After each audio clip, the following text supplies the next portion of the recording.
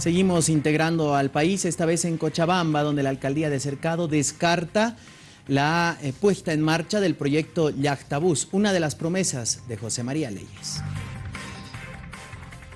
Uno de los proyectos que fue considerado de impacto por parte del alcalde suspendido José María Leyes, cuando manejaba la alcaldía municipal de Cercado, hablamos del Yachtabús, aún no será ejecutado por parte de la municipalidad de Cercado a raíz de que esos recursos fueron destinados a otros proyectos. Eh, lo que sí se tiene que planificar, eh, había una desorientación entre el 2018 y parte de nuestra gestión de 2019 por algunos proyectos que está, se está enfocando más a solicitud mismo de los distritos.